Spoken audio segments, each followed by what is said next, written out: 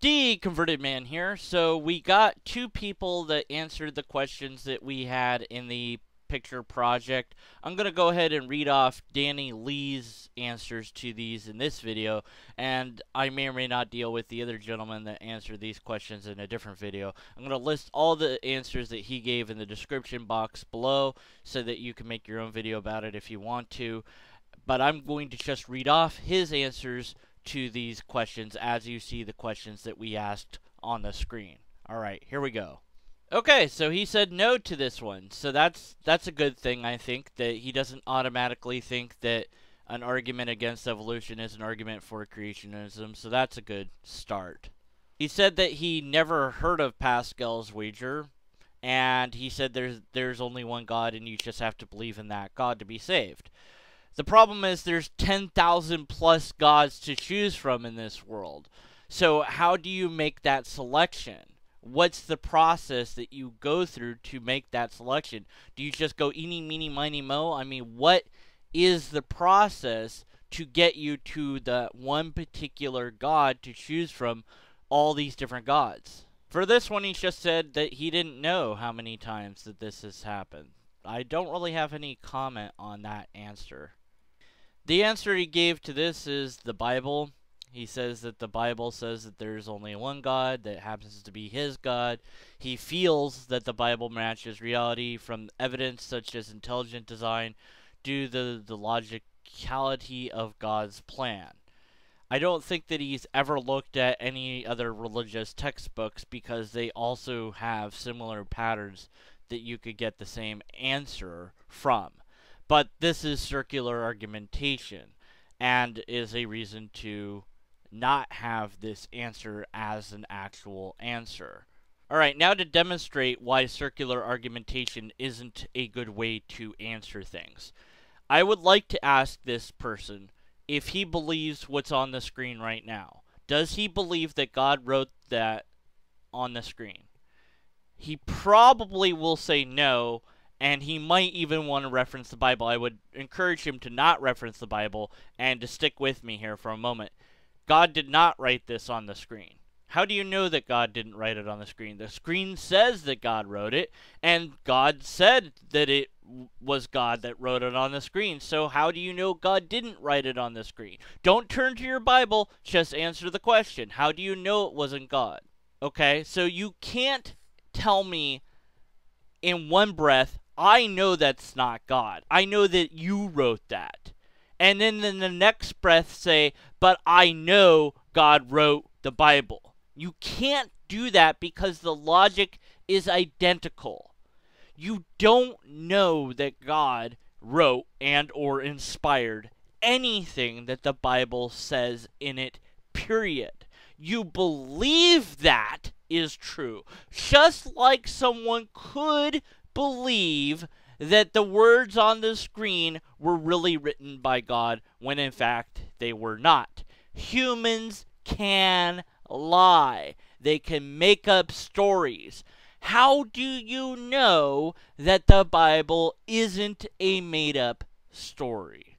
That is something that your answer does not explain. You used circular argumentation. You said that the Bible said it was true, therefore it's true.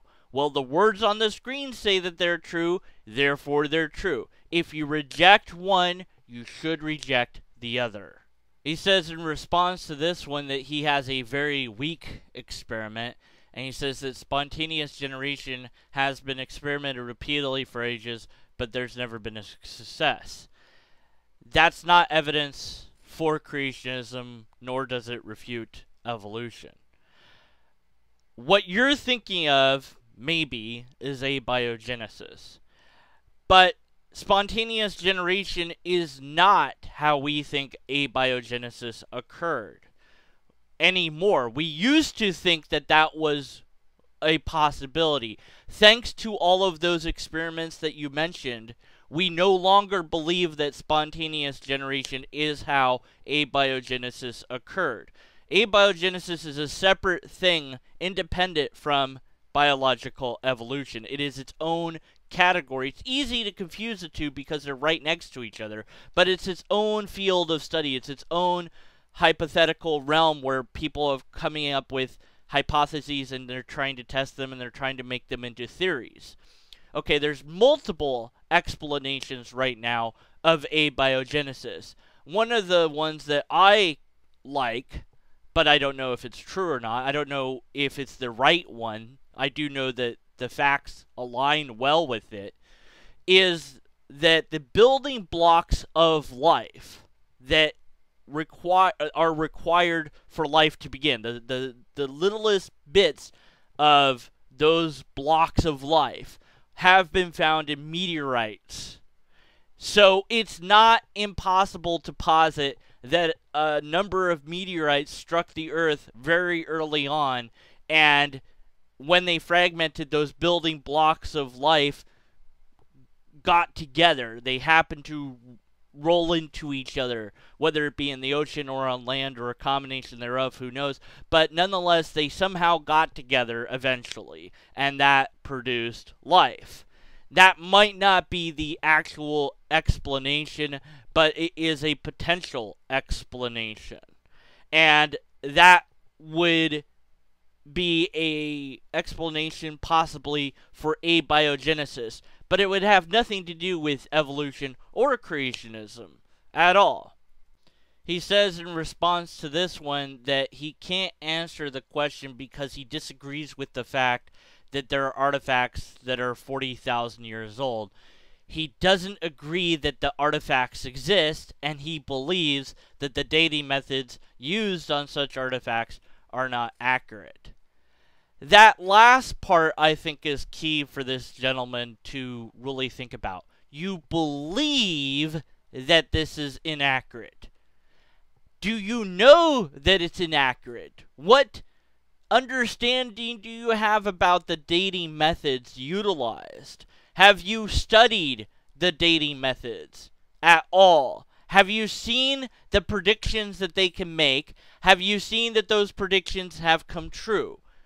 If you don't know anything about this at all, and you're just basing it on your own beliefs, that's called an appeal to ignorance. And you need to read up on this material, getting a number of books and or researching online and if you're going to do the research online, stay away from the creationist sites because they will lead you in the wrong direction, I guarantee you. Stick to the scientific websites. I'm not going to give you any atheist websites. I'm saying go to the scientific websites. They will explain this, hopefully, in ways that you can understand. And it might be something that is really hard to understand, but it is something that you should strive to understand. I myself won't be able to explain it to you. My field is logic, not this branch of science. I know very little about general science, but I, I can't explain to you this scientifically. Perhaps one of the other atheist YouTubers, skeptical YouTubers out there might be able to explain the science behind this. I can't. But I would encourage you to do the research and to make this not a belief anymore, to not rest your ideas on beliefs, but rest them on facts. His response to this is that he doesn't know, but his guess would be that because creationism requires belief in God, modern science rejects its validity as real science. Again, you're guessing the answers rather than trying to find the real answers. You're basing your uh, uh answers on your beliefs and your guesses rather than looking for the actual information and doing the research. I know that it's time consuming, but learn something new. Okay? There are scientists that believe in God. I hope that you're aware of this, okay? There are plenty of scientists that believe in God. There are even scientists that believe in God who reject what is called creationism, which is one or more of the following ideas. I've already talked to you a little bit about this. Creationism is a belief that biological evolution is not true and or a belief that the world is younger than 4.54 billion years old and or you can also add that maybe geocentrism which is the idea that the earth is in the center of the universe any of those things qualifies you as a creationist, at least from my perspective and my point of view. Somebody else might have a slightly different definition of creationist. So, if you are in line with science, then you're no longer a creationist from my point of view. If you agree with science, then you're a theist. And I would not have these problems that I do with you now. I'd have other problems with you to be sure, but it wouldn't be these problems. It would be one less thing that creates a potential stumbling block for me to come to your particular theology, which is something that your theology says don't create stumbling blocks, right? So instead of just saying, well, the Earth is 6,000 years old or biological evolution didn't happen, and basing these statements on nothing more than your guesswork and or your faith and or your dogma, why not investigate the science and find out if these things are true? What you'll find out is these things are true. The reason that creationism is rejected is not because it has something to do with God, although that's a part of it, and I'll get to that in a bit, but because none of the ideas posited by creationists can be tested. They can make no predictions. They can produce no results. So that's not science. As far as God not being in the equation, you won't find God in science, not because there aren't people who believe in God that are scientists, but because God, whatever it is or is not, is not something we can study right now. Maybe we lack the technology to do that. Or maybe God is so well hidden that we won't find it. Or maybe God is in a different dimension that we'll never be able to access. Or whatever explanation you want to posit. Regardless, until God becomes something that we can test, God will never be something that will be a thing that is in the sciences. So you can believe in God and be a scientist. But if you wanted to test God, you would have to construct some sort of machine to test God. And if that machine failed, then the result is what? Either God doesn't exist or you're unable to test God. So then you have to try again and again and again. When we have tested prayer we have found the result to be exactly what we would think that nature would produce. The same results, or sometimes even worse, than what nature would produce on its own. So prayer has been labeled as something that we just can't test by many theists and skeptics. You could also draw the conclusion that prayer is untestable because God doesn't want to be tested, and God knows that we're testing it. So whenever we start to test God using prayer, He shuts off the answers for that prayers and leaves it up to chance, which means again that God is identical with nature, so there's no way to test God, and we're done with that particular test. So we can't use prayer to verify God. That's one more thing that we can't use to verify if it's there. I don't know why God wouldn't allow us to test it, but nonetheless, that's why you'll never find God in science. Not because science is anti God, but because God is not something that is testable by science, either because it doesn't want to be or because it doesn't exist. I decide the latter, you decide perhaps the former. Okay, the answer he provides here is the Bible says God's a spirit. I believe he created the physical realm, which includes the physical space. Apart from God, there is nothing. He does not need space. He is self sufficient. I probably would agree with you that the Bible does say that God's a spirit, but I don't know that it says any of the other things that you're claiming here about God.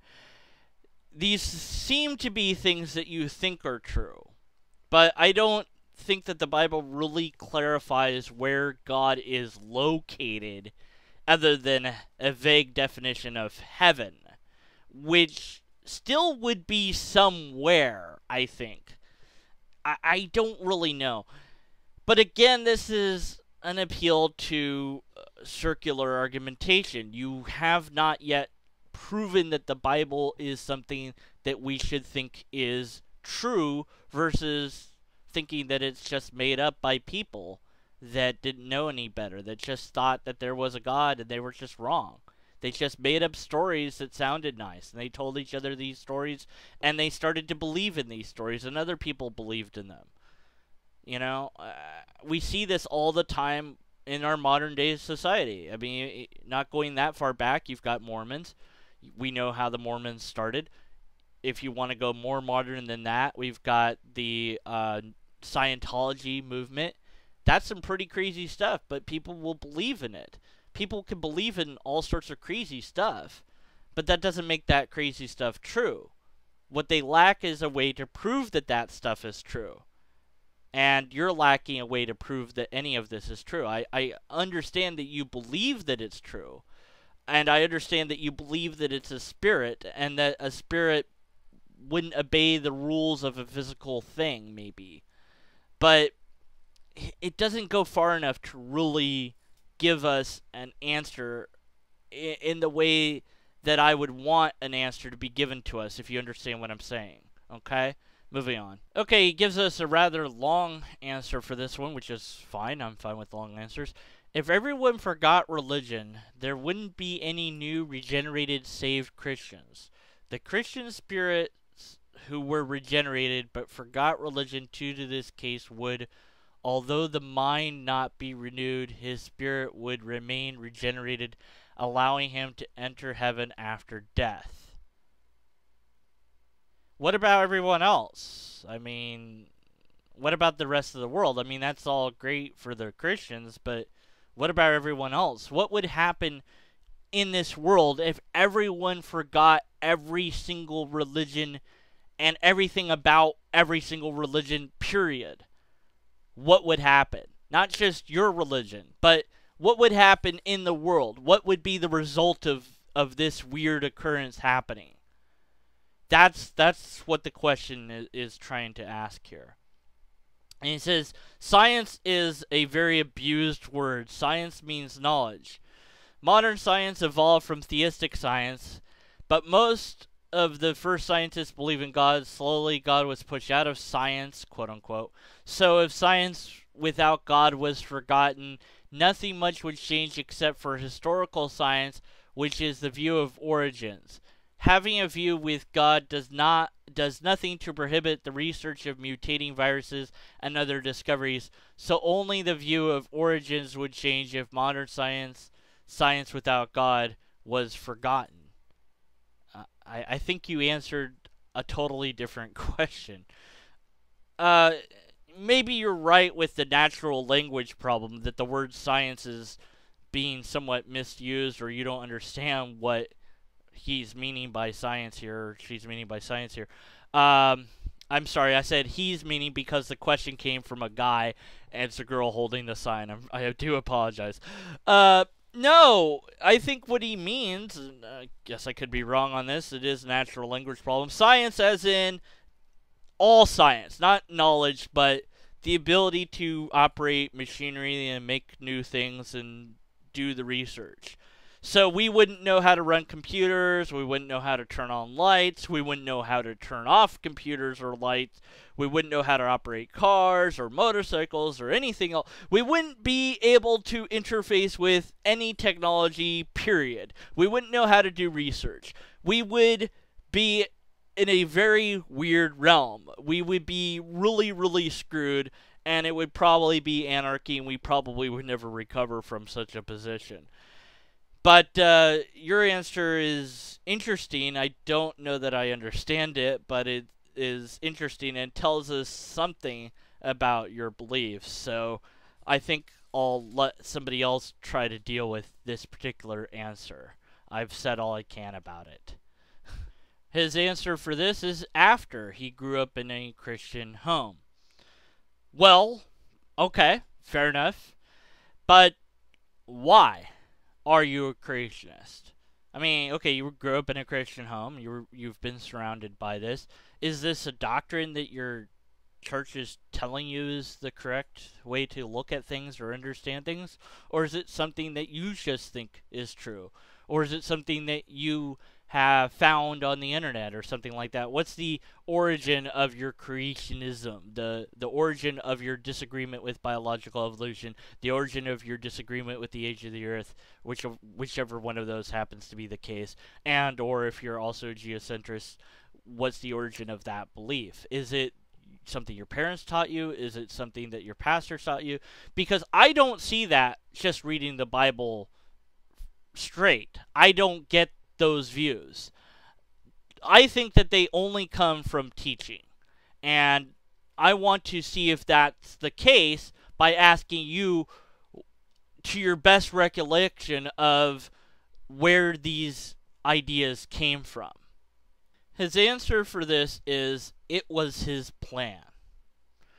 So your all loving God's plan was to kill a million people plus. So instead of just wiping out two people, which is still a bad thing, but to allow people to continue to propagate, fill the earth to about a million people, and kill those million people save a small number of people. So those million people are now in hell. They would have to be in hell because they didn't believe in God. They didn't agree with Noah. They didn't buy into it or they didn't do the right things. That's why they were killed. That was God's plan. God's plan was to allow millions of people to come into existence for the sole purpose of killing those people and letting those millions of souls go to hell. And this is somehow loving. Those lives that they led meant nothing. The, whatever accomplishments they had meant nothing because everything, according to the story, was wiped out. What about the animals? What did they ever do? They didn't do anything. They were innocent in this picture. I guess you want to say, well, the animals were also tainted somehow. They were wiped out along with all the humans. And this was God's loving, perfect plan. I really have a hard time believing that for a second. It doesn't sound like a loving God to me, and it certainly doesn't sound like a very good plan to me perhaps you could explain further why God would kill millions of people knowing that they're all going to hell. Why would he do that? It makes zero sense to me. But it still could be true, but you have to give me the reasons why it is true. I just see that as awful and horrible and repugnant. His answer to this is Noah was a preacher of righteousness, 2 Peter 2 5. His guess is that any he invited would come, but none did except for his sons and their wives. And who knows, Neanderthal may have been gene expressed after the flood, so he didn't exist then. Well, um, okay. so Neanderthal existed after Noah, setting Noah way back when, and Noah is now pre Neanderthal, making Noah before Neanderthal man, which would mean Noah's a primate, uh, a very primitive primate with a very small brain. That's not what we would call Homo sapiens today. But okay, sure, why not? We'll go with that answer.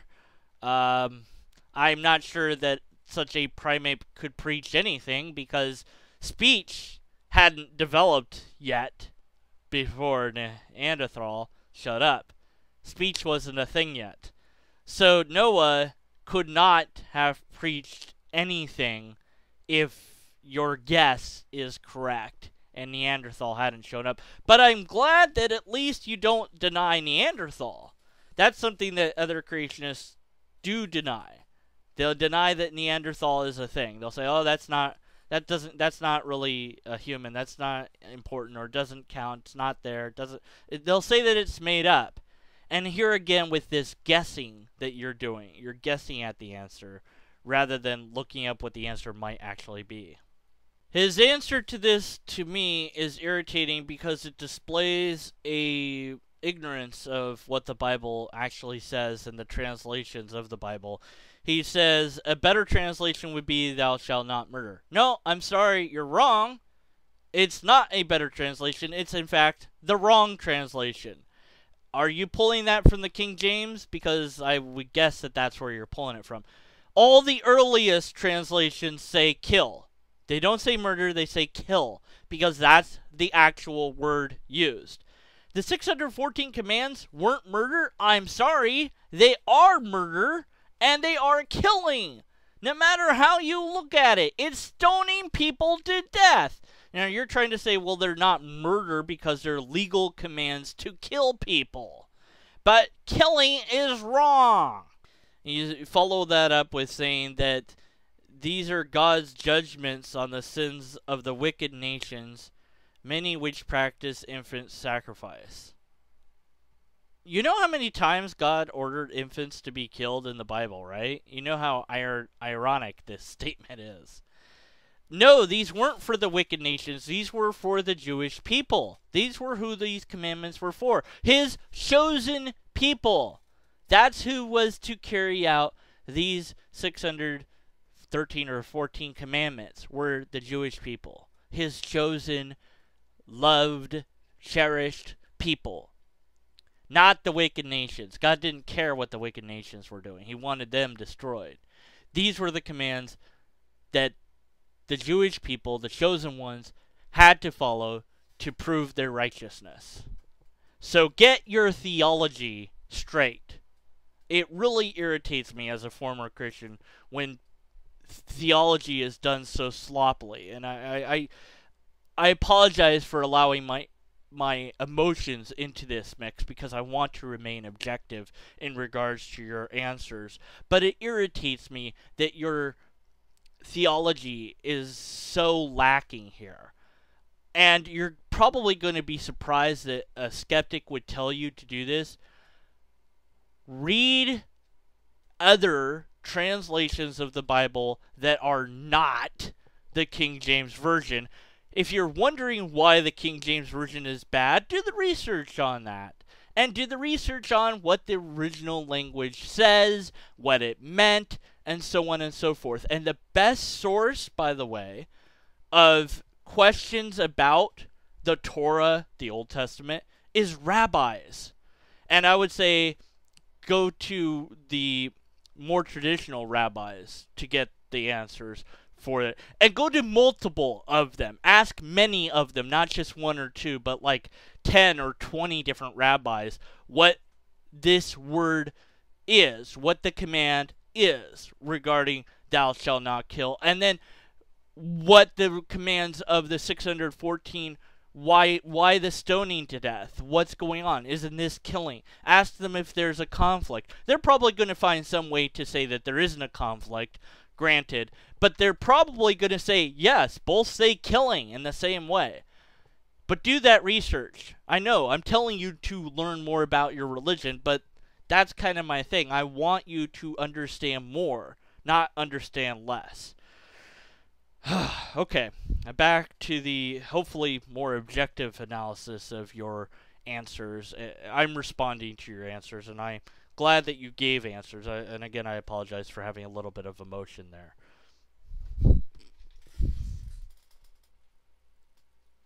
His answer to this question is that he believes we're in his image because we have eternal spirits, not for physical reasons. God is a spirit, man has a spirit, animals don't. We're in his image or likeness of God. So I guess any form would do. Uh, our physical body, are you saying that our physical bodies are irrelevant to God? That he doesn't care if they're all screwed up and we can barely use them? Is that what you're saying here? I really need to understand this a little bit better.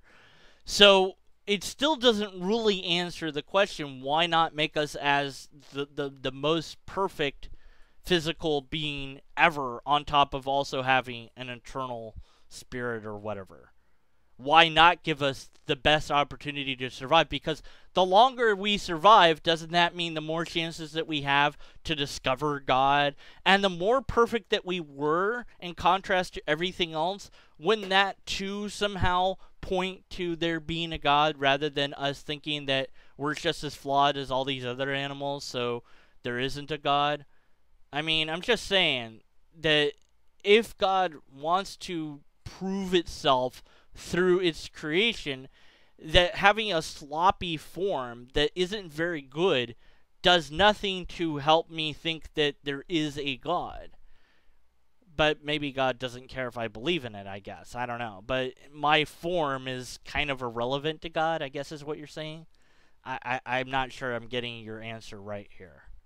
His answer here is we will probably not see new added genetic material. We will only have genetic material switched on and off like the Punnett square.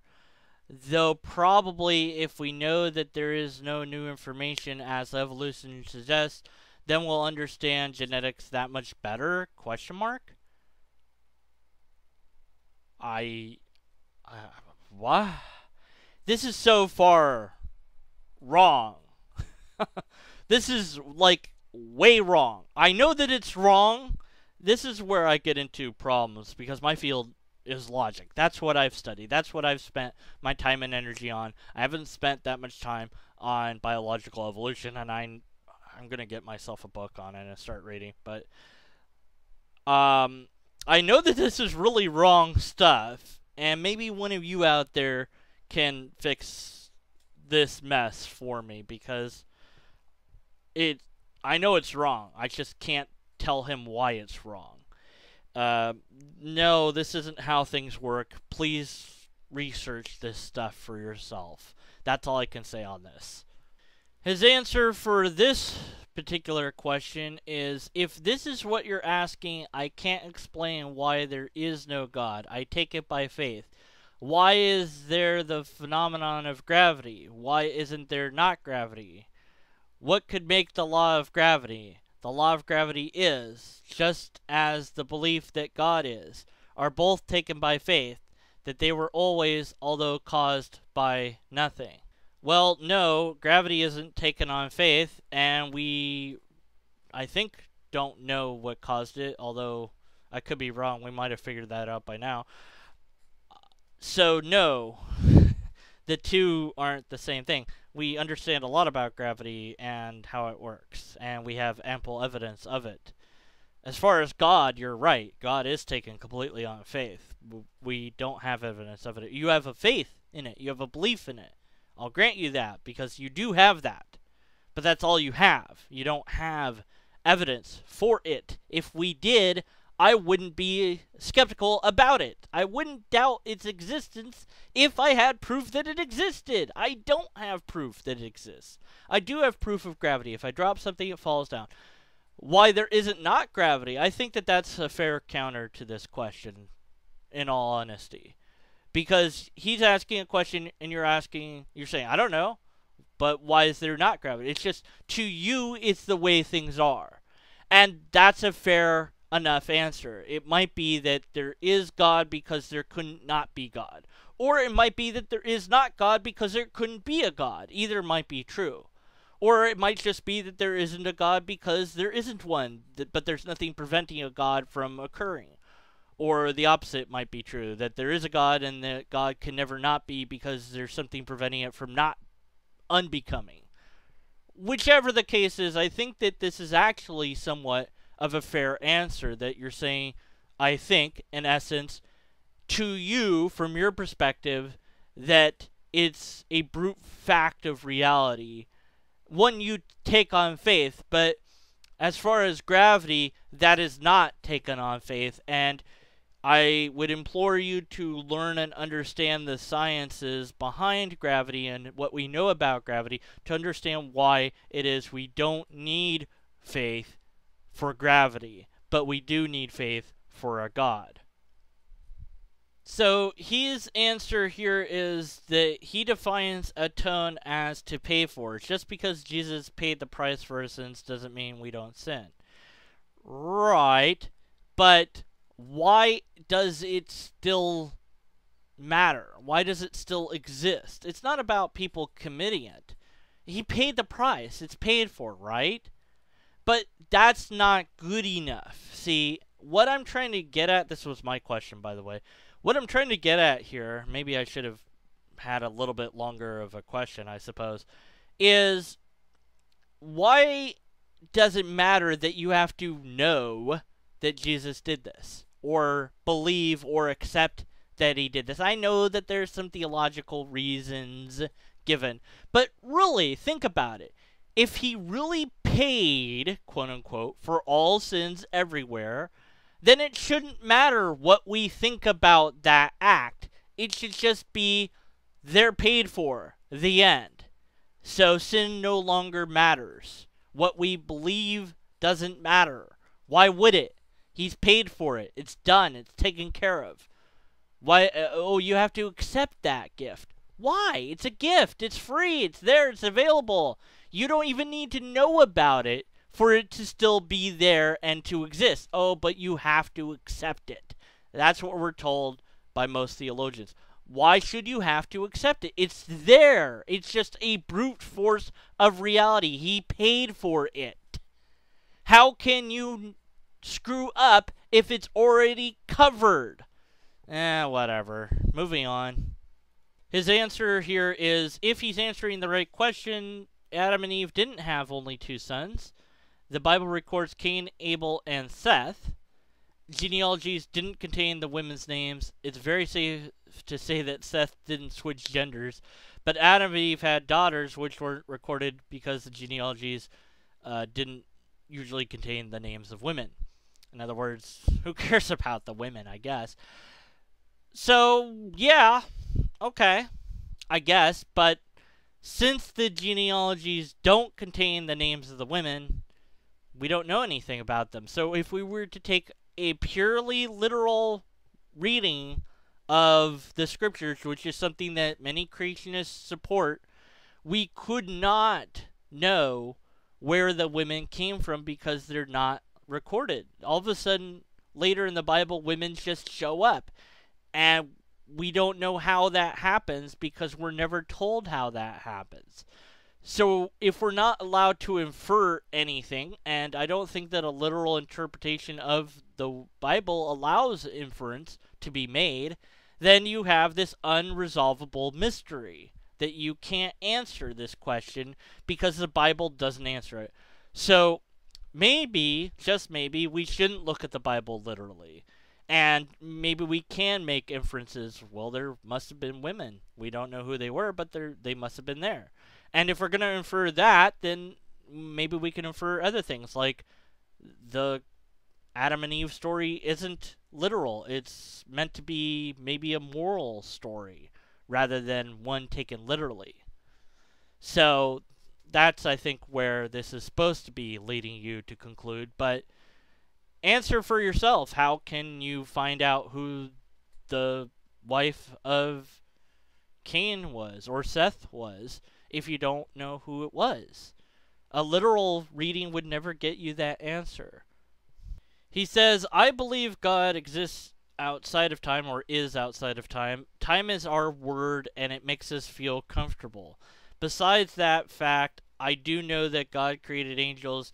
There was a rebellion in heaven. Lucifer and the angels of light, or Satan, wanted to be like God. God cast him, and the other angels that were with him, out of heaven they now reside on Earth as demons? Question mark.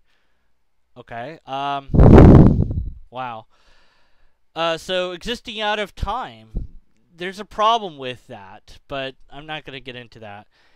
The teaching of the rebellion in, in heaven, you won't find that in the Bible. You won't. You will find it in the Catholic Bible, maybe, but you won't find it in the standardized Bible. And I don't even know you can find it in the Catholic Bible. This seems to be a teaching that was added in. Maybe there's hints of it, but I I've I've not seen this really, and I always kind of wondered what was the big deal. Why is it so bad to be like God? I mean, isn't God the best thing to be? Why would be wanting to be like Him be such an offense? Who cares? Wouldn't God be like, yeah, that's cool. I'm glad you want to be like me. I'm glad you want to be worshipped. But the fact of the matter is, you can't be me. I can't make you me because I'm not able to do that. And it, as far as worship, I'm the only one that's supposed to get that. I'm the only one worth worthy of that. So I'm very sorry, Lucifer, but you can't get what you want. That's all. Or or just don't make Lucifer in the first place, since you know he's going to rebel. And you know why why bring that problem in the first place? demons on the earth? There's no evidence of that. But again, it's a belief that some people hold. Many have discarded it by, na- by now, but it is something that we encounter every now and again. He says, I don't know. A weird kind for sure. They're pretty cool. Only one other mammal lays eggs. So, so that's it?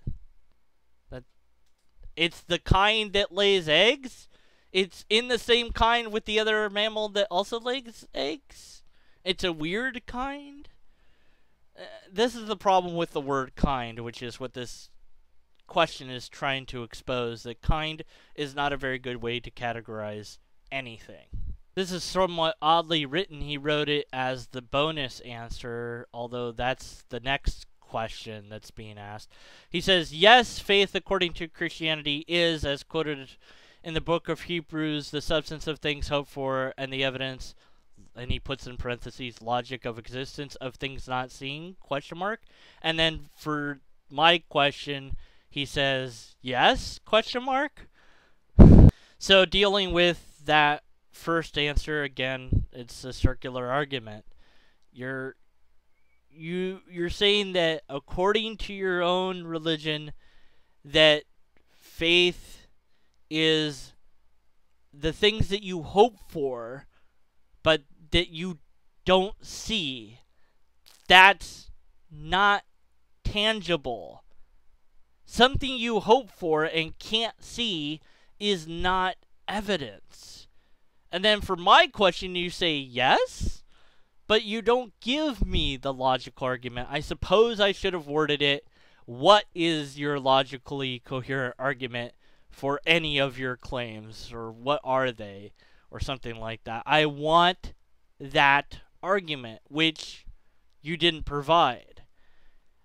Your answers are answers, and I'm glad that you took the time and energy to answer the questions that we had every single atheist, just about, not every single one, a lot of atheists, okay, I'm exaggerating, a lot of atheists answered the 22 questions from creationists. I didn't because it's it's already done. I have nothing more to add. It's already been said.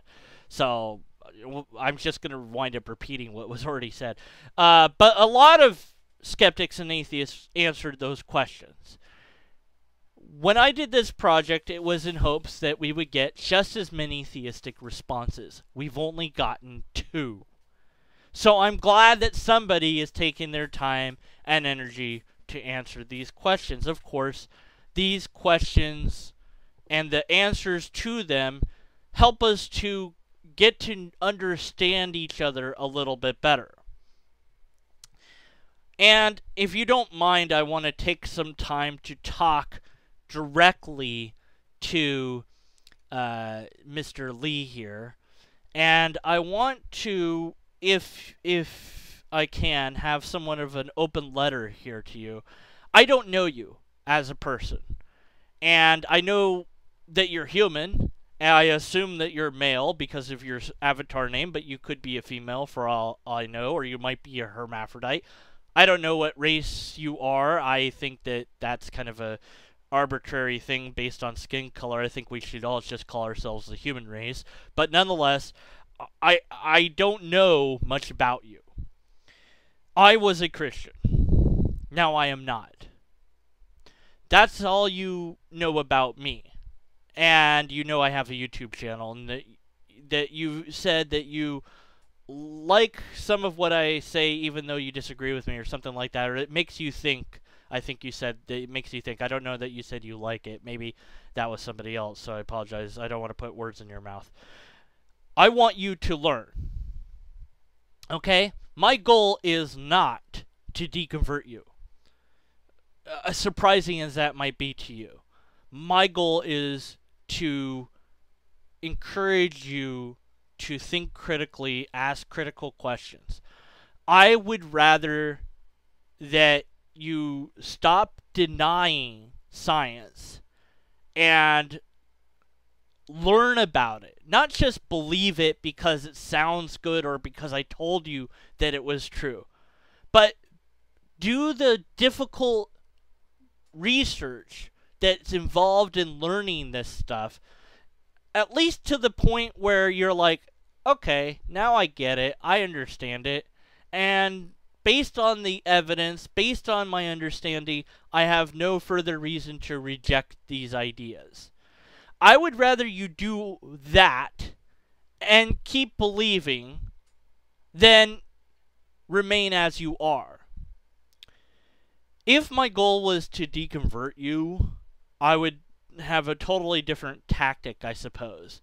I don't think that that is something that we can do. We can only encourage people to analyze and think and ask tough questions. I, I don't think that we can really deconvert. I don't think we can convert people. People choose these things based on things that they have encountered and uh, uh, agreed with. But nonetheless, I don't care, quote unquote, if you remain a theist.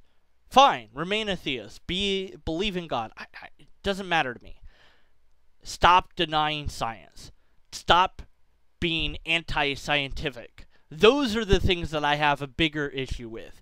Because you might think it doesn't really matter in the broad spectrum of things. It's like, who who cares if I deny biological evolution? What harm does that do? And this is a fair question. Here in America, and maybe you don't live in America, but here in America, we are the second from the bottom of a list of nations who disagree with biological evolution. That's pretty sad. We shouldn't be there. We should be the number one on the list of agreement with biological evolution we shouldn't have this problem, but we do. And there's a National Center uh, for Science uh, video or two or three videos that they have that really cover this stuff really well, and you'll learn a ton from that. You will learn so much from scientific videos and science in general. And it is amazing. It is beautiful and wonderful. Sometimes it's ugly, don't get me wrong. But it is always interesting, at least to me. And if you want to believe that ultimately God is behind all of that, fine. But let go of this doctrine because this doctrine is a false teaching. And I don't want to sound too much like a pastor or preacher or minister, but don't get me started because, well, you know, look, this is a false teaching that somebody is teaching. And I don't know why it caught on and why it's still a thing, but it's stupid and wrong, and it is causing nothing but a stumbling block. It is one more reason to reject the idea of Christianity. If all Christians everywhere, globally, had zero problems with science, we would have one less thing to complain about. Videos like this wouldn't exist. The Creationist Museum would not exist. What we would have in maybe in its place is how about a museum of the real history of your own religion that details here's what we do know. Here's where this archaeological dig was and what they found. Here's the real evidence of it. It turns out Nazareth wasn't really a city like we thought it was. So, what does that mean? Here's what we think it means, but this is opinion, and make sure that we have it bolded opinion and we have maybe different plaques like a silver plaque for facts and a, a bronze plaque for opinion or something like this. I'm just creating stuff off the top of my head of what I would want to see. But at any rate, my point is look, don't just buy into anti evolution, anti age of the earth. Don't just say, well, I don't think that it's true or I don't. I don't know. It seems like they're using bad science. Why not investigate it? Learn about it. Pick up some books about it.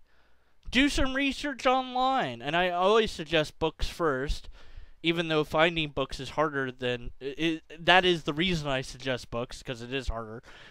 Research online, it's too easy to find fake stuff online and not even know that you found something fake. But go to the real science sites, so NASA for space, you know, uh, National Science Association, National Center for Science Association website, places like that where you know that it's accredited, you know that it's real science, and you know you're not going to get bull from them.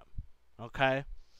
And if you still have questions, a lot of those places will let you email them and ask the questions. And they'll be like, here, it's right here, it's here, it's here, it's here. Here's the answer, here's the answer. I have learned a lot about science.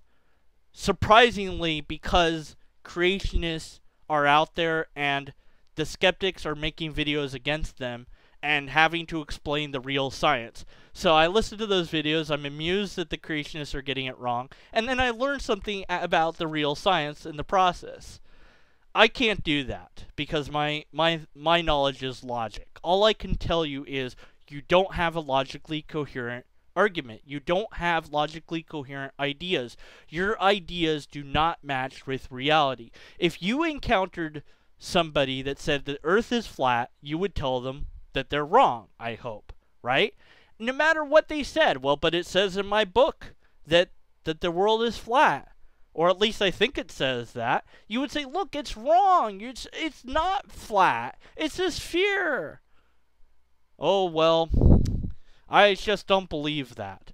Well, uh, learn about it. See if it is. Nah, I don't want to. I'd rather believe what I think is true than find out what is true. It won't hurt your belief in God. And if it does, then perhaps the next courageous step to make is to question that which you hold most dear, which is right now God. I don't think that agreeing with science and finding out and learning more about it and understanding it will harm your belief. It didn't for me but every every human is different. But fear should not hold you back. If you really want to know what the truth is, be courageous in the pursuit of that truth. And find out for yourself what is true. Rather than being a stumbling block for people like me, engage your intellect and learn about the truth about science. And so you will then remove that stumbling block. And granted, there will be other issues that I have. But before you can get to those issues, you must remove this issue. And unless and until you do, you will continue to create a stumbling block for me and others. Something that your own religion tells you not to do. Unless and until you remove these stumbling blocks, I will continue to be skeptical that you even care about your own religion.